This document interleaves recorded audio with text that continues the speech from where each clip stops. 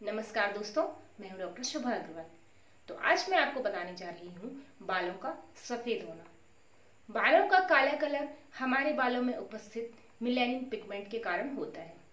यदि ये melanin pigment कम हो जाए तो हमारे बाल सफ़ेद हो सकते हैं। बालों का सफ़ेद होना 40 की उम्र के बाद ही देखा जाता है, लेकिन आज की डेट्स में कम उम्र में ही बालों का सफ़ेद होना देखा जाता है। यदि कम उम्र में ही आपके बाल सफ़ेद हो जाते हैं तो इसके बहुत सारे कारण होते हैं। हमारे शरीर में बीमारियाँ।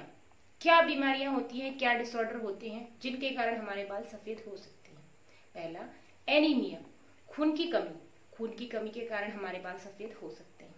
टाइफॉइड टाइफॉइड के कारण भी हमारे बालों का सफ़ेद होना हो सकता है। विटामिन बी ट्वेल्व की कमी। विटामिन बी ट्वेल्व की कमी के कारण भी हमारे बाल सफ़ेद हो सकते हैं। तो ये कमी सिर्फ़ वेजिटेरियन में अधिकतर देखी जाती है, क्योंकि विटामिन बी ट्वेल्व जो होता है, वो मीट में फ़िश में होता है।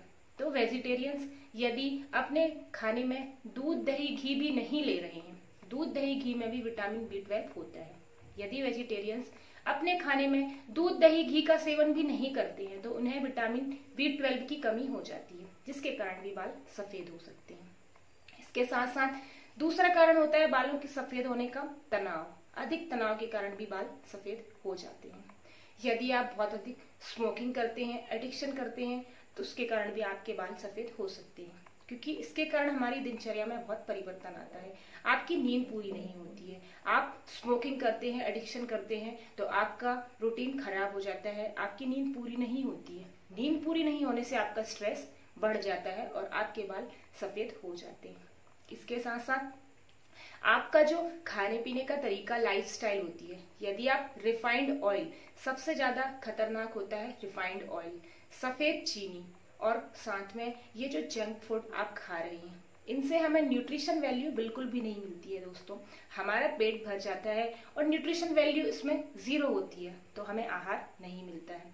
इन चीज़ों के कारण भी हमारे बाल सफ़ेद हो जाते हैं। अगले में कुछ कारण आपको बता रही हूँ। दाढ़ी का सफ़ेद होना। दाढ़ी का सफ़ेद होना इन बीमारियों के कारण तो होता ही है दोस्तों बट आप जो शेविंग करते हैं शेविंग यदि आप अच्छे से हाइजीन को मेंटेन करते हुए नहीं करते हैं, बाहर से आप शेविंग कराते हैं, यदि वहाँ पर साफ़ सफ़ाई अच्छी नहीं है तो इसका भी इनडायरेक्टली हमारे बालों पर फ़र्क पड़ता है। शेविंग जेल में बहुत सारे केमिकल होते हैं, जो हमारे हेयर फॉलिकल को खराब करने का काम करते हैं और हमारे बालों में बनने वाले जो मिलेनिक पिगमेंट और मिलेनिक सेल होते हैं, वो खराब हो जाते हैं, जिसके कारण भी हमारे बाल सफ़ेद हो सकते हैं। बार बार अपने बालों को इरिटेट करना इरिटेट करने के बाद अपोजिट डायरेक्शन में अपने बालों को रिमूव करना, उसके कारण हमारे हेयर फॉलिकल में इन्फ्लामेशन इन्फेक्शन हो जाता है। जिसके कारण बार बार इन्फ्लामेशन इन्फेक्शन के कारण भी हमारे बालों का जो मिलेनिन प्रोड्यूस करने वाली सेल्स होती हैं, वो खराब हो जाती हैं और बाल सफ़ेद हो जाते हैं। इसके बाद शेविंग करने के बाद भी आप अपने चेहरे पर क्रीम लगाते हैं। उस क्रीम में भी केमिकल होते हैं। उस केमिकल के कारण भी हमारे बाल सफ़ेद हो सकते हैं। तो इन सब चीज़ों का जो प्रभाव होता है, हमारे बालों पर डायरेक्टली इनडायरेक्टली पड़ता है। तो आज मैंने ये छोटे छोटे आपको कुछ कारण बताए हैं, जिसके कारण हमारे बाल सफ़ेद हो सकते हैं। तो आइए दोस्तों, कैसे बच सकते हैं सफ़ेद बालों से?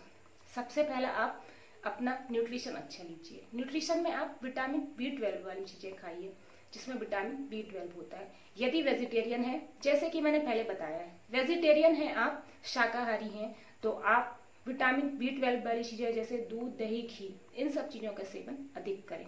नींद पूरी लें, तनाव कम लें। स्ट्रेस के कारण भी बाल सफ़ेद होते हैं।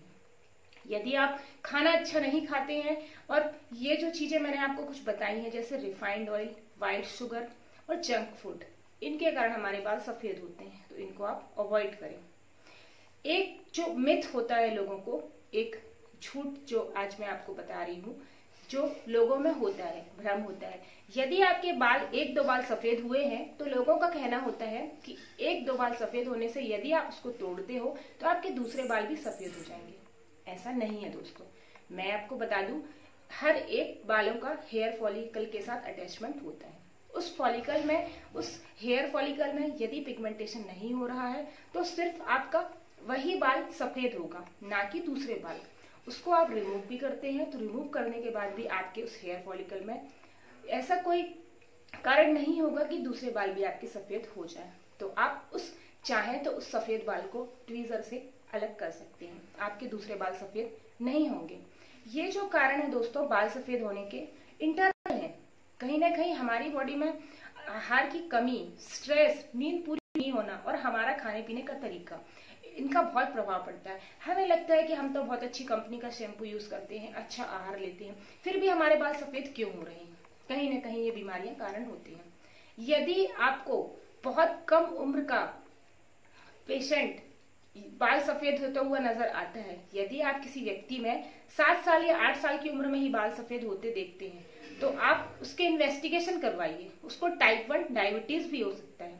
तो सबसे पहले यदि आपके बाल बहुत टाइम से सफ़ेद होते नज़र आ रहे हैं और उसका कारण आप लग रहा है कि न्यूट्रिशन नहीं है स्ट्रेस नहीं है तनाव नहीं है तो आप अपना एक, एक ब्लड टेस्ट करवाइए। ब्लड टेस्ट करवाने के से आपको पता चल जाएगा कि आपकी बॉडी में न्यूट्रिशन की कमी है या कुछ आप डिसऑर्डर के सफ़र कर रहे हैं। टाइप वन डायबिटीज़ में कम उम्र में ही बाल सफ़ेद हो जाते हैं दोस्तों। तो ये छोटे छोटे जो कारण होते हैं, बालों के सफ़ेद होने के होते हैं। बालों की केयर के लिए आप खुशबूदार तेल तेल इस्तेमाल मत कीजिए। खुशबूदार तेल हमारे बालों को खराब कर देता है। नारियल का तेल आप इस्तेमाल कीजिए। और यदि बालों के झड़ने रोकने के लिए जो आप गलतियाँ अपने बालों के साथ करते हैं, उसके लिए मैंने ये वीडियो बनाया है। आप इस लिंक पे जाके ये वीडियो देख सकते हैं। तो इस लिंक में आपको पता चल जाएगा कि बाल अच्छे होने के बाद भी आप बालों के साथ क्या गलतियाँ करते हैं तो आपके बाल टूटने लग जाते हैं। तो उम्मीद करती हूँ दोस्तों, मेरे द्वारा दी गई जानकारियों से आप अपने बालों को और भी खूबसूरत बना पाएँगे और यदि आपके सफ़ेद बाल हो रहे हैं तो इनको आप कंट्रोल कर पाएँगे।